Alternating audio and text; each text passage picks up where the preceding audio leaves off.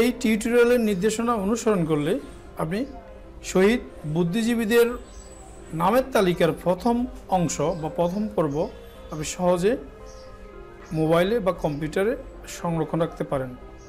শহীদ বুদ্ধিজীবীদের নামের তালিকার প্রথম পর্ব দেখে ডাউনলোড করতে হলে আপনার মোবাইল বা কম্পিউটারে থাকা যে কোনো ব্রাউজার ওপেন করুন। ব্রাউজারের অ্যাড্রেস বারে M O L W A dot gov dot BD এরপর কিবোর্ড থেকে এন্টার প্রেস করুন। মুক্তিযুদ্ধ বিষয়ক মন্ত্রণালয়ের হোম পেজ ওপেন হবে।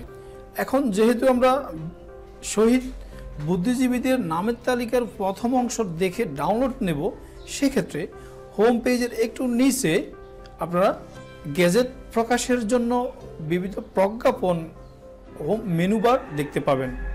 এখন শহীদ বুদ্ধিজীবীদের নামের তালিকার প্রথম পর্ব ডাউনলোড করার ক্ষেত্রে গ্যাজেটের জন্য মন্ত্রণালয়ের প্রজ্ঞাপন অপশনে ক্লিক করুন।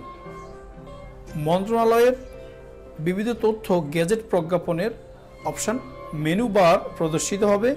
এই প্রদর্শিত মেনু বারের তালিকায় প্রথম অংশে শহীদ বুদ্ধিজীবীর তালিকা প্রথম পর্ব পিডিএফ ফাইল অপশানে ক্লিক করুন। এখন আপনার কাঙ্ক্ষিত তালিকা বা কাঙ্ক্ষিত বুদ্ধিজীবীদের নামের তালিকা দেখে উপজেলা এবং জেলা ওয়াইজ তালিকা দেখে আপনি ইচ্ছে করলে এটা সংরক্ষণ করে রাখতে পারেন এবং অথবা প্রিন্ট করে রাখতে পারেন।